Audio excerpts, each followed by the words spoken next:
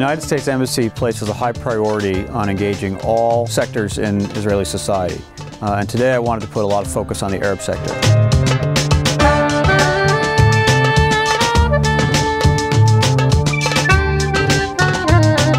Nazareth is the largest Arab town in Israel. Uh, it's a vibrant community. There's real opportunities for growth and for advancement and for bringing more and more, particularly young Arabs, into the modern Israeli economy.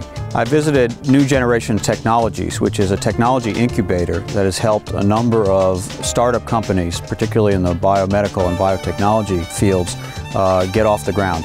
Uh, Dr. Ayoub is one of the uh, entrepreneurs, uh, scientists and entrepreneurs who has uh, developed a company uh, based around a new drug to fight cancer. You've been inducted uh, to the United States Department of State 2012 Women in Science Hall of Fame.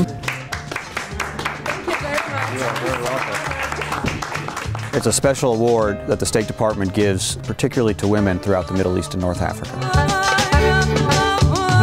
I visited the Nazareth Academic Institute today and met some extremely enthusiastic uh, and very successful high school students who are en enrolled in our English Access Scholarship Program. Learning uh, the English language gives them a tool they can use to expand their own educational and economic opportunities in the future. Thank Keep working you. on your English. You so much for this program. It's amazing, really. Well, we're delighted. So much. We're delighted. Thank you. Thank you.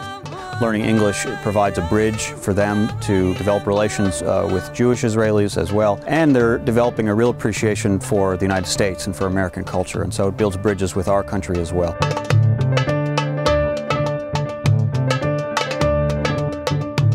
Uh, Nazareth is a community with a lot of potential, a lot of exciting things happening in it, some challenges, but a very energized public and uh, local government that is trying to address them.